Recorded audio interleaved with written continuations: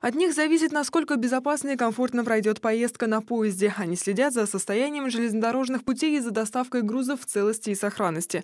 1 августа свой профессиональный праздник отмечают труженики стальных магистралей. Огромная плеяда специалистов работает на железной дороге. Это и машинисты, рабочие, строители, ремонтники, инженеры.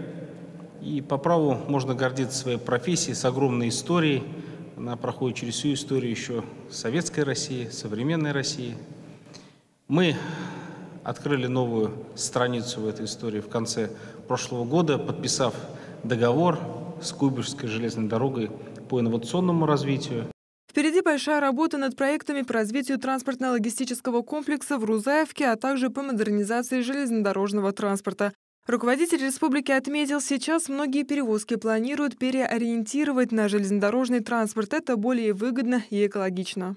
Я думаю, это позволит нам создать и новые рабочие места, во-первых, загрузить необходимой работой, ну и поднять роль отрасли железнодорожного транспорта в Республике Мордовия. Она всегда была очень значимая с учетом наших узлов и Рузаевки, и Красный узел, и Саранск – на железнодорожных станциях и вокзалах республики ежедневно трудятся тысячи человек. Лучшим из них накануне праздника вручили государственные награды. Более 30 лет работаю на железной дороге. Попал я в Рузаевку, можно сказать, по, направ... по направлению заканчивал техникум в Рузаевке, электромеханический. Но отработал не так много, где 90-е годы, и попал на железную дорогу. Работа очень нравится, в принципе, уже все. Это мое. Три работника железнодорожной отрасли получили звание заслуженного работника транспорта Республики Мордовия. Среди них и Дмитрий Даркин. Свою награду он посвятил жене, которая 38 лет работает на железной дороге. Благодаря ее настойчивости 30 лет назад он тоже стал трудиться в этой отрасли.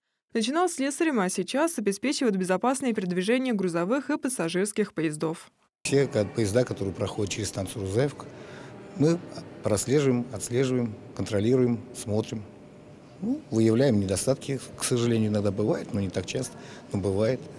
Ну, зачастую, как говорится, всегда хочется пожелать вам счастливой, как говорится, дороги. И вы же едете, не боитесь, когда на поезде едете. Ну, вот это вот мы и делаем. Железная дорога считается одной из стратегически важных и ключевых отраслей экономики страны. В целом, с начала года в республике услугами железнодорожного транспорта воспользовались около 100 тысяч человек. Сегодня железные дороги России по своей протяженности занимает второе место в мире. Ежегодно перевозят миллиарды грузов и миллионы наших граждан. А самое главное – обеспечивает безаварийное течение работы. 24 часа в сутки и 365 дней в году. На железнодорожном транспорте можно добраться не только в другие регионы. В республике работает 10 пригородных маршрутов. Сейчас специалисты пересматривают расписание, чтобы жителям региона было удобнее добираться из одного населенного пункта в другой. Ольга Данилова, Владимир Датькин, Народные новости.